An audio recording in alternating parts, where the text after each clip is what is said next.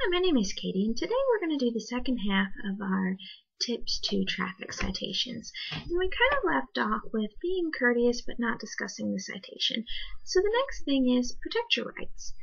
There have been a number of interesting developments recently in case law, and the idea is basically that once the officer tells you you're free to go, he can ask if you'd like to answer any additional questions, and if you say yes, he can engage you in a conversation, and your answers may actually give probable cause to search or prove, you know, another traffic infraction or something like that, or, you know, a more serious thing like possession or something of that nature.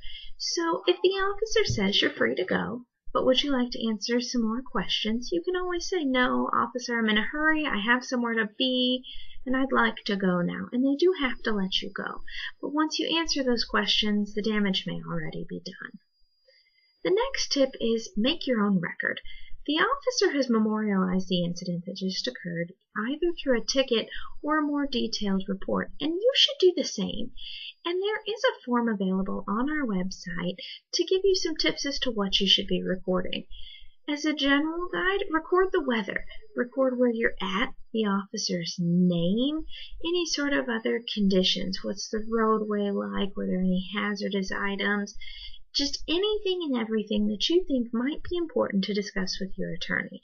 It's always better to have too much information than not enough. The last tip is contact your attorney. You don't need to face legal matters by yourself. It is complicated and working with a prosecuting attorney is something that attorneys are very skilled at and we have your best interests at heart. No matter what, the prosecuting attorney and the officer, they work for the state, and you should have somebody working on your side too. So we encourage you to contact us today. Thank you.